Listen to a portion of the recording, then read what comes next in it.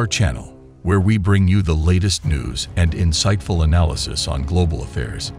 In today's video, we will take you deep into the heart of the South China Sea, where tensions between the Philippines and China have reached a boiling point. Subscribe to our channel and hit the notification bell to stay updated on our latest content.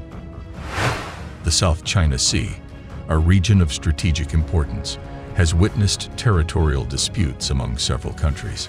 Recently, an incident occurred that made headlines worldwide. The South China Sea is an area of immense economic and geopolitical significance. Several countries, including China and the Philippines, have competing territorial claims in the region. Tensions have been rising over the years, and the situation took a dramatic turn when the China Coast Guard reportedly harassed Filipino fishermen and patrol vessels in Philippine waters. The harassment incidents were met with outrage from the Philippines, which saw them as a blatant violation of their sovereignty and maritime rights.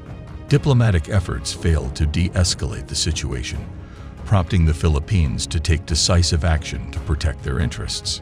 Faced with mounting provocations, the Philippines Navy responded with unprecedented resolve. Philippine warships were deployed to confront the Chinese Coast Guard vessels that continued to intrude into their waters. What followed was a tense standoff that captured the attention of the international community. In a daring move, the Philippines warships stood their ground, refusing to back down in the face of intimidation. The situation reached a tipping point when one of the Chinese Coast Guard vessels aggressively approached a Philippine warship. The Philippine warship took decisive action to defend itself and the sovereignty of the nation. In an astonishing turn of events, it opened fire, leading to the sinking of the Chinese Coast Guard vessel.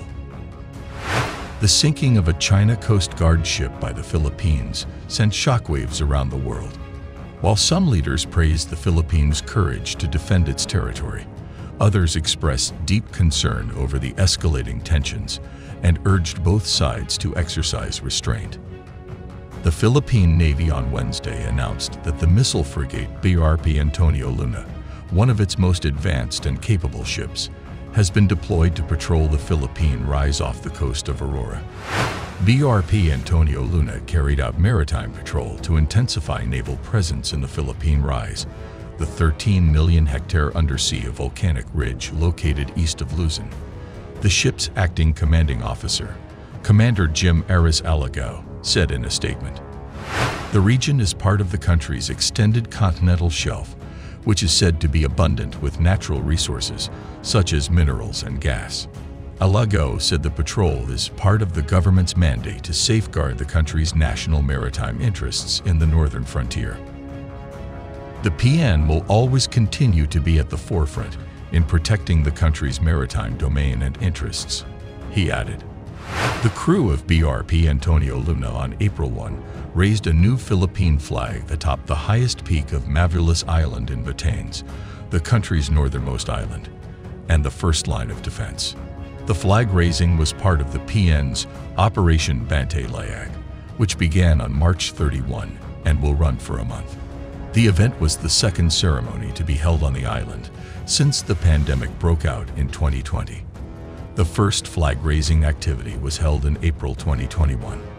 The hoisted flag also symbolizes and asserts Philippine sovereignty over the island. Among others, FF-151 also assisted the troops in Mavulis in troubleshooting the island's generator, as well as reprovisioned the troops with food and drinking water. Alago said, after Coast Guard vessels from the Philippines and China were involved in a near collision in early March in the disputed South China Sea, it took almost a month before the public was made aware of the incident. A similar delay occurred in making the activities of a Chinese surveillance ship public after it sailed through the Philippines' Sulu Sea in late January and early February. Such considerable reporting lags may indicate a shared desire by both Manila and Beijing to manage sea incidents discreetly, even as the Philippines has been vocal in recent years about Chinese activities in its waters, while forging a closer bilateral relationship. Manila has filed 241 diplomatic protests against China since 2016, 183 of which were filed last year alone. But the fact that these incidents were made public does hint at mounting discontent over their repeated occurrence. It also demonstrates how Manila is timing its announcements to garner domestic and international support and raise the stakes against Beijing. Take the March 2 incident, for example, when Philippine Coast Guard vessel BRP Malabrigo, conducting a routine patrol mission in the Scarborough Shoal, known locally as Bajo de Masinloc, had its close encounter. A Chinese Coast Guard ship with bow number 3305 came within 21 yards, 19 meters, of the Philippine vessel, an unsafe maneuver in clear violation of the 1972 international regulations for preventing collisions at sea. The incident took place near a shoal that Manila considers part of its territory, lying 124 nautical miles off the country's main island of Luzon and within the country's western exclusive economic zone. But Beijing, since a tense standoff in 2012, has had a near-constant presence in the area, leading to occasional brushes with Filipino fishermen and presenting a perennial irritant to bilateral ties. The Philippine Coast Guard only got clearance from the Interagency National Task Force on the West Philippine Sea to publicly release what had transpired almost a month later, on March 27. The aftermath of the incident saw a surge in diplomatic engagements between China and the Philippines. Both sides sought to assert their positions while trying to prevent the situation from spiraling out of control. The incident also prompted other regional players and global powers to review their stances on the South China Sea issue. As tensions remain high, the potential consequences for regional stability and trade routes are being closely monitored. The sinking of a China Coast Guard ship by Philippines warships has undoubtedly marked a critical moment in the ongoing territorial disputes in the South China Sea. The world watches with bated breath to see how the situation unfolds and how it will impact regional dynamics. If you found this video informative, don't forget to hit the like button and share it with your friends. Subscribe to our channel for more in-depth analysis and breaking news on global events. Thank you for watching, and we'll see you in the next video.